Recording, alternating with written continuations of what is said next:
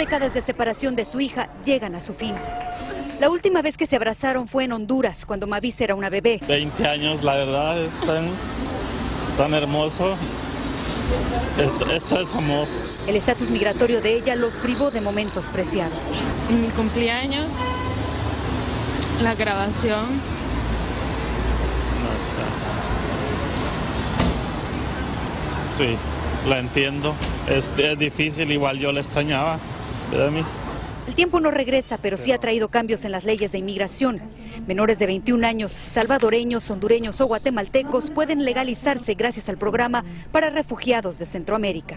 Para poder aplicar tiene que ser menor de 21 años, tener cualquier pariente legal aquí en Estados Unidos, ya sea residente, eh, TPS, DACA. Estados Unidos abrió estas posibilidades para evitar que más niños centroamericanos se arriesguen al entrar de manera ilegal, en especial quienes ya corren peligro. la inseguridad que se vive en el país porque muchas personas ah, las matan en los autobuses y las asaltan. En esta nueva etapa solo queda definir un nuevo recorrido. Que esté contenta y a empezar, que se adapte a una nueva vida, porque no es fácil. Empezar, como te digo, a 20 años, 20 años, y, y- pero acá está.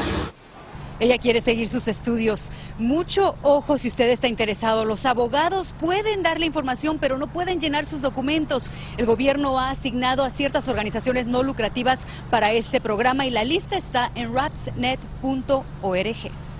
En Los Ángeles, Sandra O'Neill, Noticias, Univisión.